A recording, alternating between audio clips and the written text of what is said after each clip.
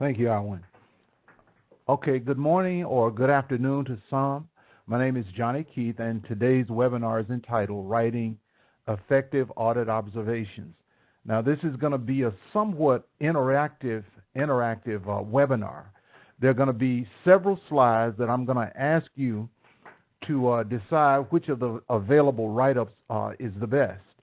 Uh, what I'd like you to do is just uh, go to the chat box and uh, write down either A, B, C, or D as we go through them, and then we'll discuss the the answer. There's going to be four particular questions, though, that we're going to need to poll you on. And as we get to those, we'll uh, show you what you need to do on those. And as Alwyn said, hold the questions until the end so we can make sure that we get through all of the uh, material. And then we can talk directly uh, at that point, and I'll answer any questions uh, that you might have. Okay, again, uh, you've uh, seen my bio, so let's just go on and get started uh, with the uh, with what we're going to do here because this webinar is going to provide the basic principles for writing effective audit observations. The audit observations represent the end results of weeks of reviews, analysis, interviews, and discussion. It's the most important part of an audit report. It's used to provide important information to management on the area that you reviewed and more importantly, it provides details to management on significant issues that need to be addressed. How well you communicate that information is critical to getting management's acceptance of your findings and their agreement with your recommendations. And ultimately, this demonstrates the value that you add to the company and enhances your chances for promotion and greater salary increases.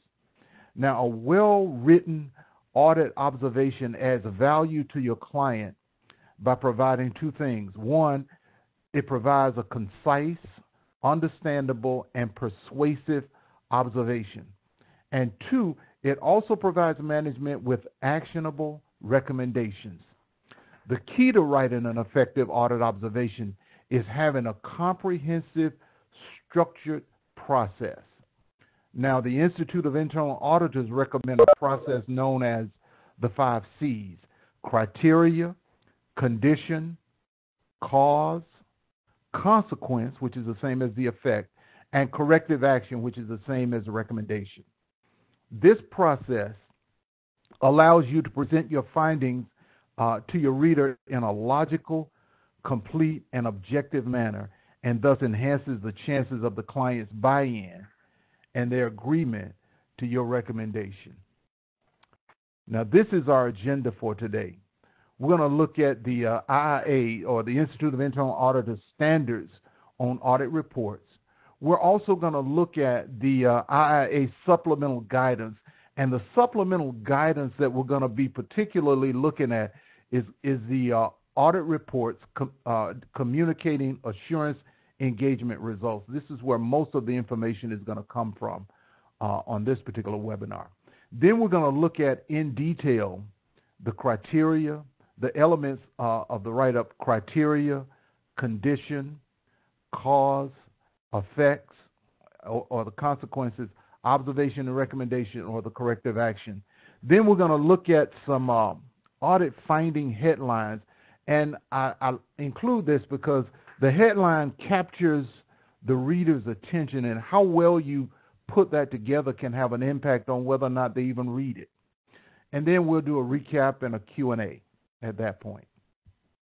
Okay, let's get started. The IIA standard 2400 uh, says that an internal auditor must communicate the results of an engagement. And this is it, it doesn't say uh, by report. Usually, it's in the form of a written report. There are some uh, I've known some cases where they don't do a written report; they'll do it through a PowerPoint. But in most cases, you're going to communicate the results of your engagement through an audit report. Now, the IIA standard 2410 talks about the criteria for communicating the results, and in and in that criteria, it says that your report or your communication must have these five things. It must have the audit objective, it must have the audit scope, and then as uh, uh, as, uh, uh, as as warranted, you're to have well, you you're going to have to have the conclusion, and if there are some findings, you're going to have recommendations and an action plan. Now, numbers three, four, and five is where this webinar is going to be focused.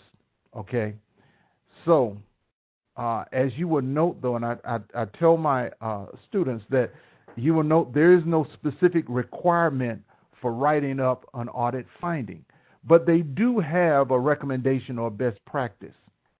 That's in their supplemental guidance. The uh, what we're going to look at first, so we're going to look at the audit observation process, and and this is where, as I said, the webinar is going to be focused.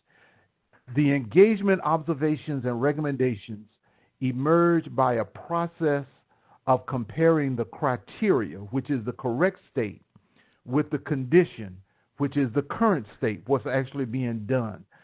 Whether or not there's a difference, the internal auditor has a foundation on which to build a report or to build a finding or, or to write up a finding.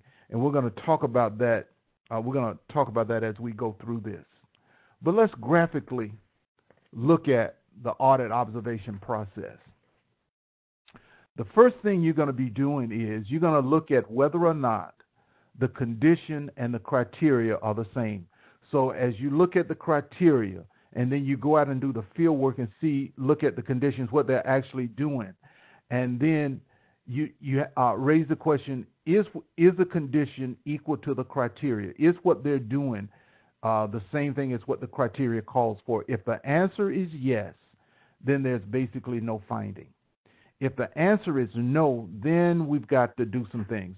First of all, one of the things we want to do is we want to determine why is it? We want to determine the cause. Why is it that the condition does not uh, equal the criteria? Because uh, what you want to do is you need to know the cause in order to fix the problem. You can't fix it without knowing what the cause is. Then another thing you want to do, another decision you have to make is that you need to determine whether or not the finding is significant. And this is major. And usually, uh, the decision on whether or not a finding is significant is based on the auditor's judgment. And it can, and the, and the auditor make, makes that decision based on a, a number of factors, such as is, is it a systemic problem or is it a one time error? Is it a large amount of money or is it a small amount of money involved? You want to ask the question is it worth the time of senior management and the board to even look at this? Yeah, and, and this is very important because if you start putting insignificant findings in a report, it diminishes the significant findings. I know I made it a point when I was at MARTA that anytime I had an audit finding, I wanted to make sure that management considered it significant enough to take some action on it. So you want to make sure that it is a significant problem before you put it in a report that it is a significant problem. If it wasn't a significant problem, uh, what we would do is what we called a verbal uh, uh, recommendation. And a verbal recommendation is uh, we, we look at the problem, we determine what the cause is, but we keep all of the information in the work papers. We treat it like a, finding, an observation, but we keep the information basically in the work papers and not in the report. We do follow up on it just like it's a regular problem, but if it's not significant enough to go in the report, you don't want to put it there. In most of the cases, when we found these uh, problems that weren't significant, they would usually be fixed before we even finished the audit.